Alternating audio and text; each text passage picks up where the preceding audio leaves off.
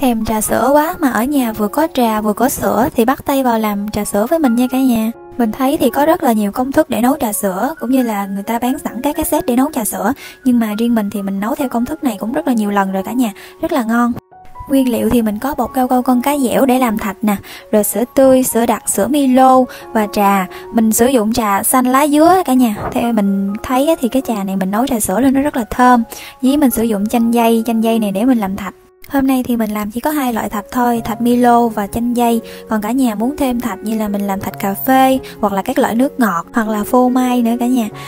Theo cảm nhận riêng của mình á, thì trà sữa thơm ngon á, là mình rang trà với lại đường Mình rang đường cho nó vàng lên và bỏ trà vào rang đến khi nào mà trà thơm lên Thì mình mới để sữa vào và một lưu ý nhỏ là cả nhà để đường khi mà nó vàng lên á thì mình cho trà vào liền chứ đừng để vàng quá thì nó sẽ bị đắng. Khi mà sữa sôi lại rồi á cả nhà mình có thêm vào hai muỗng canh sữa đặc nữa.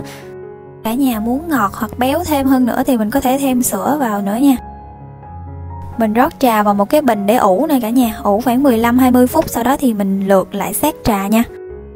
Trong thời gian chờ đợi ủ trà thì mình đi làm thạch Milo. Mình dùng hai gói sữa thạch Milo và chăm thêm vào nước sôi để cho tan.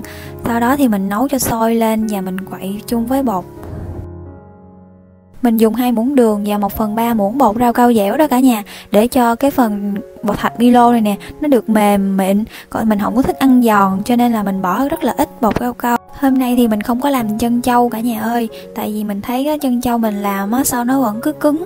Khi mà bỏ vào trong ờ, nước đá đó, nó hơi cứng cho nên là thất bại nhiều lần rồi, cho nên là mình không có làm chân trâu nữa. Mà nhà mình thì có sẵn chanh dây, cho nên là mình làm thạch chanh dây luôn. Ăn chua chua, ngọt ngọt, rất là mát đó cả nhà chanh dây thì mình cắt ra lượt lấy nước và bỏ cái phần hạt đi và thêm vào đó một ít nước sôi chanh dây có vị chua nhiều cho nên là mình dùng 3 đến 4 muỗng đường và 1 phần 3 cái bột rau câu dẻo nha cả nhà. Trà thì ủ đã xong, thạch thì đã nguội, bây giờ mình đã có một ly thơm ngon rồi nè cả nhà. Chi phí thì khoảng 40k nhưng mà mình được đến 3 ly như thế này lận. Nếu thấy cách chia sẻ của mình hay và phù hợp thì cả nhà cho mình xin một nút like và một nút đăng ký nha cả nhà. Chúc cả nhà buổi tối vui vẻ.